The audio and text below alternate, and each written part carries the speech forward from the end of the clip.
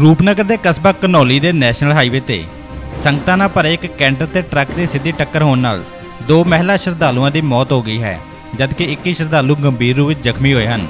ਜ਼ਖਮੀਆਂ ਵਿੱਚ ਔਰਤਾਂ ਤੇ ਬੱਚੇ ਵੀ ਸ਼ਾਮਲ ਹਨ। ਹਾਦਸੇ ਮਗਰੋਂ ਜ਼ਖਮੀਆਂ ਨੂੰ ਐਂਬੂਲੈਂਸ ਰਾਹੀਂ ਰੂਪਨਗਰ ਦੇ ਸਰਕਾਰੀ ਹਸਪਤਾਲ 'ਚ ਇਲਾਜ ਲਈ ਭਰਤੀ ਕਰਵਾਇਆ ਗਿਆ ਹੈ, ਜਿਨ੍ਹਾਂ ਵਿੱਚ 7 ਦੀ ਹਾਲਤ ਗੰਭੀਰ ਹੋਣ ਕਰਕੇ ਉਹਨਾਂ ਨੂੰ ਪੀਜੀਆਈ ਚੰਡੀਗੜ੍ਹ ਵਿਖੇ ਰੈਫਰ ਕੀਤਾ ਗਿਆ ਹੈ। ਜ਼ਖਮੀਆਂ ਵਿੱਚ ਇੱਕ ਮਹਿਲਾ ਨੇ ਰੂਪਨਗਰ ਦੇ ਸਰਕਾਰੀ ਹਸਪਤਾਲ ਵਿਖੇ ਹੀ ਪਹੁੰਚ ਕੇ ਦਮ ਤੋੜ ਦਿੱਤਾ ਸੀ, ਜਦੋਂ ਕਿ ਦੂਜੀ ਮਹਿਲਾ ਦੀ ਪੀਜੀਆਈ ਚੰਡੀਗੜ੍ਹ ਵਿਖੇ ਪਹੁੰਚ ਕੇ ਮੌਤ ਹੋਈ ਹੈ।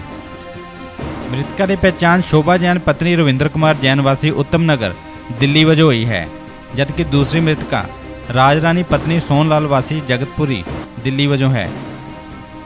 ਪੁਲਿਸ ਨੇ ਹਾਦਸੇ ਲਈ ਦੋਸ਼ੀ ਵਿਅਕਤੀਆਂ ਦੇ ਖਿਲਾਫ ਮਾਮਲਾ ਦਰਜ ਕਰ ਲਿਆ ਹੈ।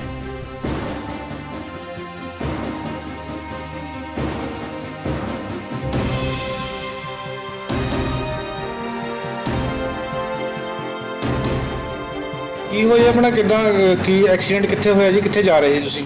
ਅਸੀਂ ਗੁਰਦੁਆਰੇ ਜਾ ਰਹੇ ਸੀ। ਅੱਛਾ। ਕਿਹੜੇ ਗੁਰਦੁਆਰੇ ਜੀ? ਬਾਬਾ ਗੁਰਦਾਸ ਸਿੰਘ ਜੀ ਦੇ। ਅਹ ਕੀ ਹੋਇਆ? ਕਾਹਦੇ ਤੇ ਜਾ ਰਹੇ ਸੀ ਤੁਸੀਂ? ਟਰੱਕ ਤੇ ਜਾ ਰਹੇ ਸੀ। ਅੱਛਾ ਅੱਛਾ ਕਿੱਦਾਂ ਕਿਆ ਹਾਦਸਾ ਹੋ ਗਿਆ ਤੁਹਾਡੇ ਨਾਲ? ਹਮਣੇ ਰੋਂਗ ਸਾਈਡ ਆ ਰਿਹਾ ਸੀ ਟਰੱਕ ਵਾਲਾ।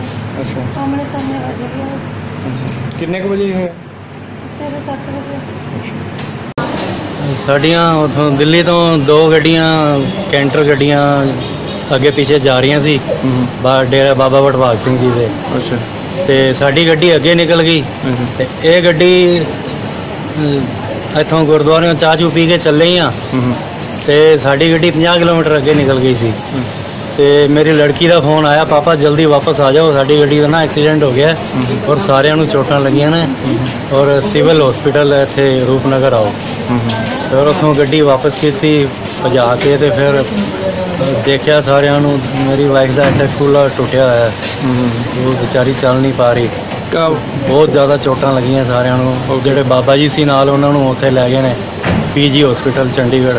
ਅੱਛਾ ਹਾਦਸਾ ਹੋਇਆ ਕਿਦਾਂ ਜੀ ਇਹ? ਉਹ ਰੋਂਗ ਸਾਈਡ ਇੱਕ ਟਰੱਕ ਵਾਲਾ ਆ ਗਿਆ ਉਹਨੇ ਮਾਰ ਦਿੱਤੀ ਗੱਡੀ। ਨੌਲੀ ਨੇੜੇ। ਅੱਗੇ ਤੋਂ ਆ ਰਹੇ ਟਰੱਕ ਦੇ ਨਾਲ ਟਕਰਾ ਜਾਣ ਕਰਕੇ ਜਿਹੜੇ ਜ਼ਖਮੀ ਹੋ ਗਏ 23 ਬੰਦੇ। ਜਿਨ੍ਹਾਂ ਵਿੱਚੋਂ ਇੱਕ ਦੀ ਮੌਤ ਸਿਵਲ ਹਸਪਤਾਲ ਰੂਪਨਗਰ ਵਿਖੇ ਹੋ ਗਈ ਇੱਕ ਦੀ ਪੀਜੀਆਈ ਹੋਈ ਹੈ ਬਾਕੀ 6 ਬੰਦੇ ਹੋਰ ਜੋ ਸੀਰੀਅਸ ਸੀ ਉਹਨਾਂ ਨੂੰ ਪੀਜੀਆਈ ਚੰਡੀਗੜ੍ਹ ਭੇਜਿਆ। ਬਾਕੀ ਜਿਹੜੇ ਇਲਾਜ ਸਰਕਾਰੀ ਹਸਪਤਾਲ ਰੋਪੜ ਹਨ। ਤਾਂ ਸਰ ਮ੍ਰਿਤਕਾਂ ਦਾ ਕੀ ਵੇਰਵਾ ਹੈਗਾ ਜਿਹੜਾ ਹੈਗਾ ਤੇ ਅੱਗੇ ਕਾਰਵਾਈ ਕੀ ਜਿਹੜੀ ਹੈਗੀ ਆ ਇਹਦੇ ਵਿੱਚ ਕੀਤੀ ਜਾ ਰਹੀ ਹੈ ਜੀ? ਮ੍ਰਿਤਕਾਂ ਦਾ ਬੇਰਵਾ ਹੈਗਾ ਜੋ ਟਰੱਕ ਅੱਗੇ ਤੋਂ ਆ ਰਿਹਾ ਸੀ ਤੇਜ਼ ਰਫ਼ਤਾਰੀ ਨਾਲ ਆਇਆ ਜਿਨੇ ਲਿਆ ਕੇ ਆਪਣੇ ਕੈਂਟਰ 'ਚ ਮਾਰਿਆ ਜਿਹਦੀ ਅਣਗਹਿਲੀ ਕਰਕੇ ਇਹ ਹਾਦਸਾ ਹੋਇਆ ਹੈ ਜਿਹਦੇ ਖਿਲਾਫ ਮੁਕੱਦਮਾ ਦਰਜ ਕੀਤਾ ਜਾ ਰਿਹਾ ਹੈ। ਰੋਪੜ ਤੋਂ ਸੱਜਣ ਸੈਣੀ ਦੀ ਰਿਪੋਰਟ ਪੰਜਾਬ ਟੁਡੇ